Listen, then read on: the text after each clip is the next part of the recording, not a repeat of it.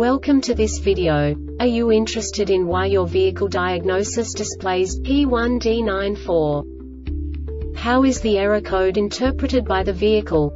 What does P1D94 mean, or how to correct this fault? Today we will find answers to these questions together. Let's do this. First, let's look at the history of diagnostic fault code composition according to the OBD2 protocol, which is unified for all automakers since 2000. We divide the electric system of automobile into the four basic units. Powertrain, body, chassis, network. This distribution is defined in the first character code. If the second character is expressed as zero, it is a standardized error.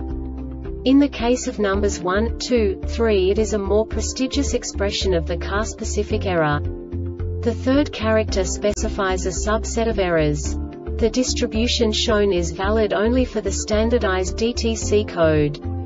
Only the last two characters define the specific fault of the group.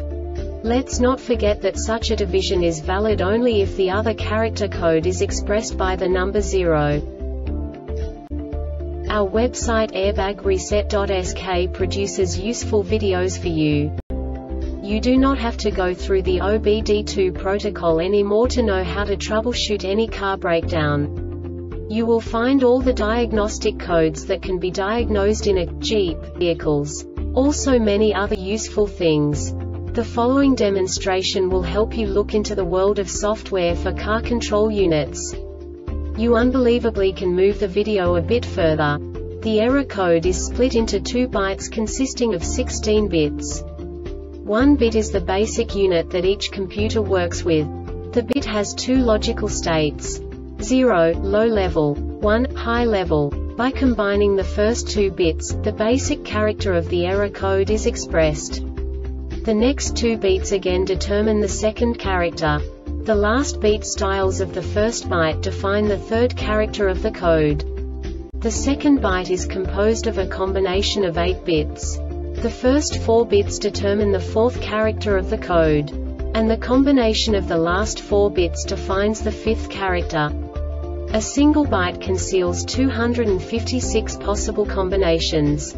We now know in what way the diagnostic tool translates the received information into a more comprehensible format. The number itself does not make sense to us if we cannot assign information about it to what it actually expresses.